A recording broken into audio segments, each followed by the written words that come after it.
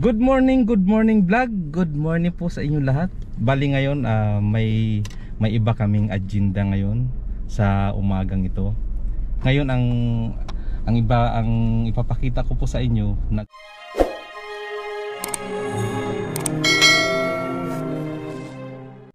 Ngayon lang ako magkakaroon ng panahon na magiging teacher.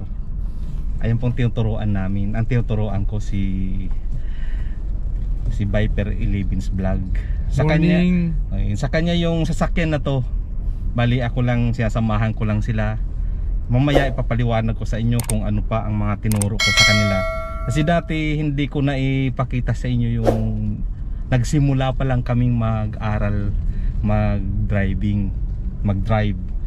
Ngayon tingnan mo hindi na ako masyado na tatakot di tulad dati na talagang ako ang kinakabahan sa sasakyan nila kung baka mahibanggaan namin sa ibang sa ibang kuan sa ibang Sasakyan. sasakyan o kaya dito man sa mga barandilya. Pero ngayon tingnan nyo na, nabibitawan ko na siya ng ano wala na akong problema. Okay na siya magmaniho ang kamay niya. Kasi dati ang kamay niya ngayon yung yung inahasa ko pa sa kanya yung pagmamaneho niya yung kanyang paa. Yan, paa pa ang kanyang medyo problema. Mabigat pa masyado yung kanyang paa, hindi pa gumagaan. Kaya pinapasanay ko siya, sinasanay ko siya sa pagsasapatos.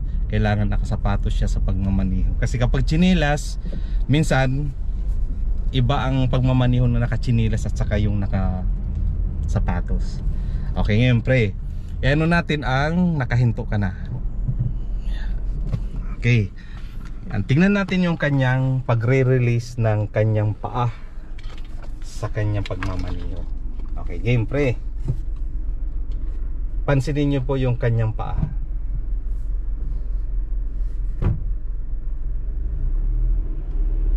Ayan. Ayan, ngayon maganda kasi medyo maganda kasi pababa yung kumbaga sa ano, ginugulong na niya yung yung gulong kasi pababa siya. Dito ulit yung paahon medyo nag-iiba ang pag-aapak ng ng silinyador at saka ng clutch. Okay, yan medyo okay na si Viper's 11's vlog. Viper 11's vlog. Yan. May mga classmate din kami dito, ayun oh, ayun sila. Yan. Yan tingnan mo, di na nga ako nang problema kung paano ang pagmamaniho niya. Hindi ko na siya tinuturuan, magaling na siya. Yan, ang ang ano pa namin talaga yung nagiging problema pa namin sa pagmamaneho, yung kanyang paa. Yung medyo mabigat pa talaga yung kanyang paa. Yan.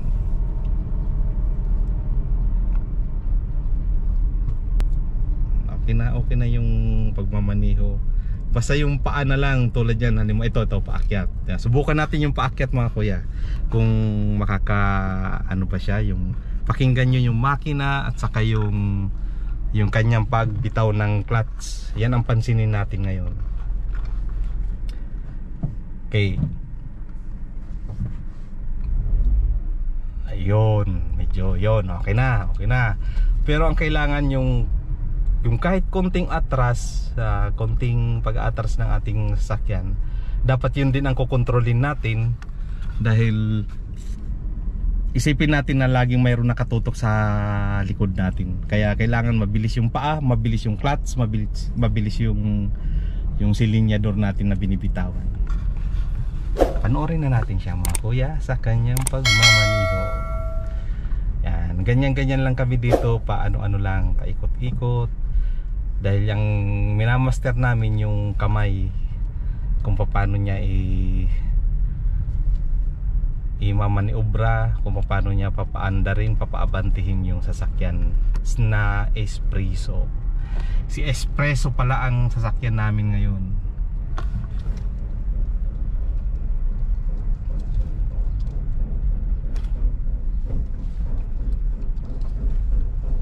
Yan. O, diba? Oh, binangga yung barandilyo na yun. Binangga na pala dati nung nandito kami, matuwid pa yun ngayon iba na. iba ng klase ah. Yung nakaraan, ano yun, no?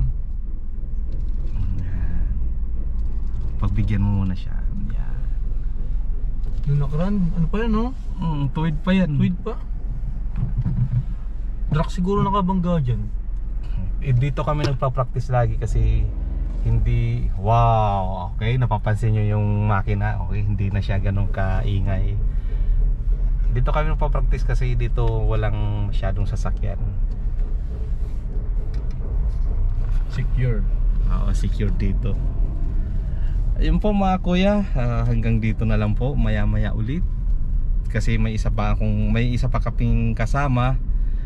Yung misis ni Viper 11's vlog ang magmamaneho mamaya, mamaya. Siya naman ang mag magpra-practice din mag mag-drive. Kaya mamaya na lang mga kuya.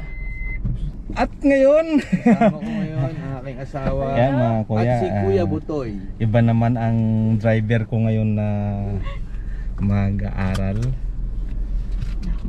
Siya, siya na ang misis ni Viper 11's vlog. Hi po. Yan. Mag, magaling din siya mag ano ng ano, eh, tingnan. Tingnan mo yung ano, yung kung tama yung gagawin niya. Hindi ko na siya tuturuan kasi alam na niya yung ginagawa niya. Tingnan. mo. Medyo kanabahan ako dun. Cambio. Tapos Oh, 'di ba mga kuya? Yan, ganyan. Tapos ngayon ang pagbitaw na lang ng Oops. Sige lang, sige lang. Ganyan lang 'yan. Yung clutch ang ano mo, ipitawan mo konti yung clutch. Yan, ganyan. Okay, 'di ba? Ako muna ang teacher ngayon. Masarap pala umupo lang, masarap umupo. Ganito kami nung si Viper 11's vlog, medyo may kaba ako ng konti. Oo, kasi mababangga yung sasakyan ko. Ah, hindi sasakyan pala nila. Kanila pala yung sasakyan na to. Nakikisakay lang ako. Pero akong natatakot baka makabangga kami. Pero ngayon si Viper 11's vlog okay na siya. Magaling na. Ngayon si Mrs. na lang ang ano, medyo ano pa ngayon. Okay. Game. Pero hindi na rin ako masyado natatakot. Tignan nyo. Di ba? Kanya bumitaw. Tapos ngayon pag-aaralan na lang niya yung Manibila. Manibila na lang ang kanyang ano. Sorry. Sige na, okay na yan. Yan. Iikot mo dun, iikot mo. Ah. Oo, pero dahan-dahan lang din. Yan. Ayun, ganyan ang pagtitimpla ng manibi ng ano, sil ng clutch. Iikot mo na, ikot mo na. Yan, baka umabot ka doon. Ikot mo ulit ang manibila, ikot mo ulit ang manibila, balik. Ayun, ganyan. Kahit dito lang okay na yan. Ah, sige doon lang ulit sa inaano natin. Ayan oh, hindi na ako masyado kabado. Dito lang yung mga nakaraang araw, mga bago kami dito talagang Nakakaba. oh, umaangat yung pet ko dito eh. wow. Hey, huwag ka lang mataranta. Oh, Liko mo na ngayong konti. May nakita akong motor. Ang layo. Defensive masyado. Ayan, ganyan ang mga ano yung bago pa lang defensive siya masyado. Malayo pa yung motor hinto na siya dito. Pinagbibigyan na niya. Ganun kami kagalang. Sige, okay na yan. Pwede na yan. Kasi sila mismo rin ang mahihinto rin niya ngayon. Yan, yan. Ganyan ang kamay pag lumiliko. Yan. Dandahan lang yung, Sorry, si- si- yung gas. Ibalik mo na kaagad ng konti yung manibila. Balik mo na. Yan. Okay, yan ang ano pa sa kanya yung manibela. Pero yung sa clutch, medyo okay na siya. Hop, balik mo yan dito. Hop, hop, hop, hop. Didikit ka doon. Yan. Rin ah. Ayan, oo, ganun talaga yan. yan. Kahit ganyan lang kahit ganyan lang kabilis pag nag-aaral pa lang okay yan. Tapos dito, hinto kami dito. Yan, hinto. Yan, ang pag-ano tapos i-ano ko yung clutch niya, ay yung clutch. Clutch. Okay. Tapos, huwag mo kalimutan kaagad ang yan. Okay.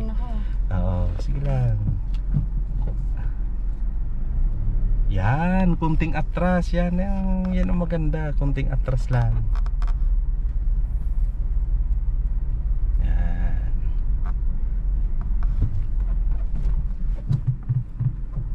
Yan, good yan, good yan, good.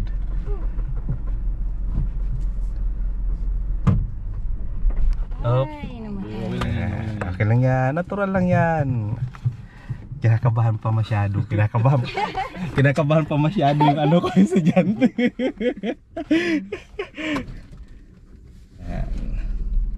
siya. Sige, ako na lang muna ang tagabuhay ng ano. Yan. Dito, iliko muna dito. Yan. Alalay ng clutch. Tapos iliko mo na. Yan. Liko na. Yan. Balik manibila. Balik manibila. Yan. Yun. Galing. Tingnan natin ang reaction ni Mari kung ano naging reaction niya. Yan ngayon titingnan natin.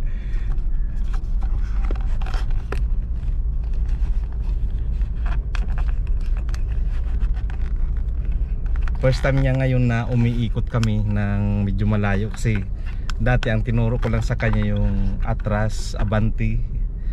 Yan lang ang tinuturo ko dati. Ngayon, medyo umiikot na kami ngayon. Yan, nakakatakot yan. Naka, ano sila, nakatutok. Alalay ang silinyador. Alalay ang silinyador. Yan. Balik ang manibila. Yan, para hindi ka dumikit doon. Ano Yun. Namatay? Hindi, hindi. Buhay yan. Ay, Buhay yan. Apakan mo, apakan mo. Yan. Ano nangyari dun sa dito? Hindi, hindi nag, nagsasarili yan. Nagsasarili. Hmm. Oo, nagsasarili. Kasi pinatay ko yan dito kanina. Ah, okay.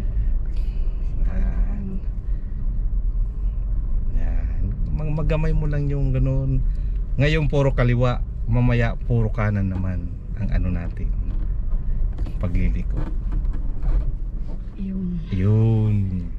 Huwag mo kalimutan ang cambio. Yan. Tanggal mo na. mukhang, mukhang pinapawisan si Maria. Parang uminit sa. Ano yung sombrero ko di? Tagaktak pa ako. Tagagtak ang pawis. Aircon naman eh. Ma- Malakas ang aircon namin ha. Bakit kaya ganun? Parang yung kilikili ko umang nababasa. Sige lang. Sige Ay, lang. Yan. Basta wag lang kakalimutan ang clutch. Yan. Tama yung ganyan mga style. Yan. Ayos yan. Ang reaction na lang ni Mrs. ang ano natin. Para may pang ano tayo. Thumbnail. Malakas naman ang aircon na. Bakit kaya nagkakaroon ng pawis? Init.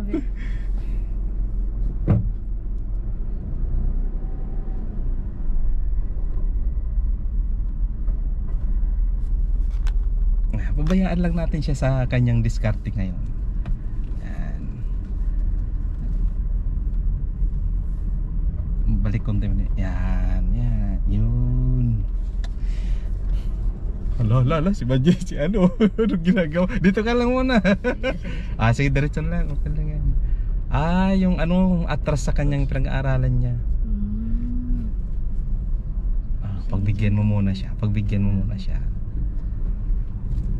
Yan, ayos yan yung preno ang inaano mo inuuna. Sabi mo eh. Sabi ng bossing ko. Ayos, gumagalig na, gumagalig na. Oh, tapos na po kami sa isang session. Ngayon, magpapahinga muna kami dito. Tapos ng kanyang paikot-ikot na pagmamaniho. Pinagpapawisan na kaming lahat kasi yung pinag-aralan namin kanina yung pag-atras at pag-parking. Kaya ngayon pahinga daw muna kami, pagtanggal muna ng Kaba. kaba. Kaya kami mga Tutsi, Gibara. Ayun. Ayun po mga kuya, hanggang dito na lang po. Maya maya ulit. Ayan yung pinag papraktisan namin na sasakyan si Espresso, Espresso. Masarap lang imaniho. Yun siya. Oo, pagbaba. Yan. Maya na lang po mga kuya. Ah, hanggang dito na lang po. Muli, ako po si Kuya Butoy, ang yung lingkod na nagsasabing sumainyo ang kapurihan at magpasa walang hanggan. Maraming salamat mga kuya. Bye.